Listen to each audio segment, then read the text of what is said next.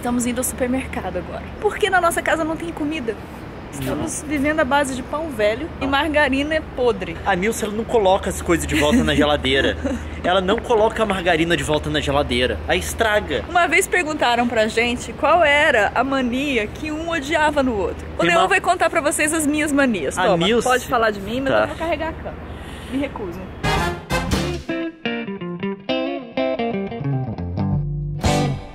A Nilce, ela tem uma mania de não concluir certas coisas depois que elas são usadas. Ela não consegue, Eu por esqueço! exemplo, fechar uma porta. Ela entrou num cômodo que a porta tá aberta. Ela tem que sair e fechar a porta. Ela não fecha a porta totalmente. Sabe, até aquele negocinho da porta encostar na parede assim, mas sem dar o clique. Ela encosta e sai. Eu lembro quando a gente morava em Goiânia, a gente tinha uma daquelas geladeiras que o freezer é dentro da geladeira, que tem uma portinha de plástico assim, sabe, dessas antigas mais baratas, e não era frost free. Então você tinha que fechar a porta sempre que você usava o freezer, porque senão acumulava gelo, volta aqui, não foge não. Você não conseguia depois mais fechar a porta.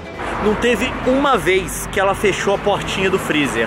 Ela abria a portinha do freezer, pegava o que ela queria, encostava a portinha do freezer sem clicar, sem fechar. Ela só dava aquela encostadinha rápida assim e fechava a geladeira. Aí no outro dia, quando eu descobri aquele treco errado, já tava cheio de gelo, tá? Moça. Não, não muda, não muda aqui não. Outra coisa, Coca-Cola. Ela pega a tampinha, ela não enrosca não, ela só coloca em cima assim. Já ela, provoquei altos acidentes. ela pega a tampinha e coloca em cima da coca. Então sempre que eu chego na cozinha, eu vejo a coca em cima do balcão, a Nisso tomou, eu nem penso mais, é automático, eu já coloco minha mão na tampinha assim e, e fecha a coca. Porque eu sei que ela não fecha. Teve uma vez que eu tava que eu morava com a Gláucia em Goiânia. E aí eu usei o Todd. Ah não, aconteceu comigo também, você E não eu tava não em casa.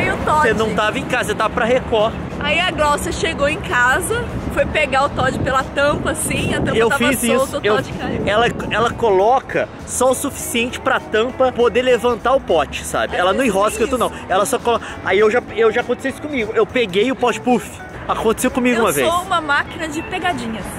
Eu sou praticamente uma pegadora. Isso acontece também com a margarina. Ela pega a margarina de manhã, usa a margarina, coloca a margarina no balcão, não põe de volta na geladeira. No dia seguinte, se ninguém usou no meio período, Perdeu. Por isso que a gente tá indo agora no supermercado para comprar um pote de margarina, embora a gente tenha um pote lá que tá dois terços cheio.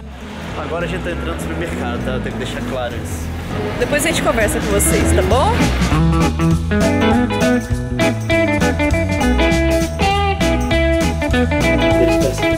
Xavier, de entrar na cabeça do outro. Eu quero fazer um discurso sobre a katana. No caminho do mercado até aqui em casa, ele parou de falar mal de mim e começou a falar dos X-Men. Sim, a gente E aí ele foi Psylocke. explicar a Psylocke e aí... Aí a gente chegou na parte que ela tem uma kat- ela tem uma adaga psíquica numa mão e uma katana na outra. Aí, aí eu lembrei do japonês, que tem esse mito do guerreiro perfeito japonês, do samurai. Mas samurai não era essas coisas não, velho. A instituição da cavalaria europeia era infinitamente mais capaz do que dos samurais japoneses. A tecnologia do samurai japonês, se você comparar com um cavaleiro da mesma época, era altamente defasada. A espada longa europeia era muito melhor que a katana, desculpa, tá? A armadura mais idiota na arte da guerra europeia é a malha de ferro. Obviamente existem várias malhas de ferro diferentes dependendo da época que você olhar. A katana não seria capaz de cortar uma malha de ferro. Não tô falando nem de armadura completa, tá? De, de chapa de aço. E tinha um outro problema. Enquanto o cavaleiro europeu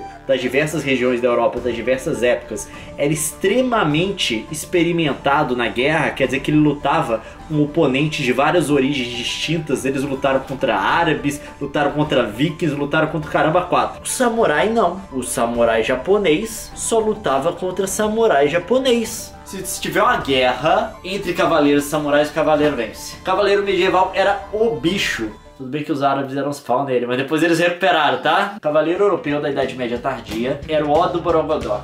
Era o cão chupando manga. E o samurai só tem essa fama de ser o bonzão porque ele só lutava contra samurai. E aí, Quando vai ter canal de ciência? assim que eu conseguir dormir e fazer todas as outras coisas que eu preciso fazer. Manda beijo pras pessoas. agora. Igual aquelas esqueça, manda beijo. Nem sabe o que, tá fazendo. Primeira coisa que ensina o raio do moleque é manda beijo. Manda beijo.